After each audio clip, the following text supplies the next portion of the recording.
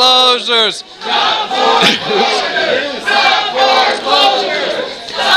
Thank you. Stop foreclosures. Stop foreclosures. Keep Larry Faulks in his home. Brenda Wright, keep Larry Faulks in his home. Brenda Wright, Senior Vice President of Community Relations, keep Larry Faulks, oh, I'm so sorry, in his home. Nice.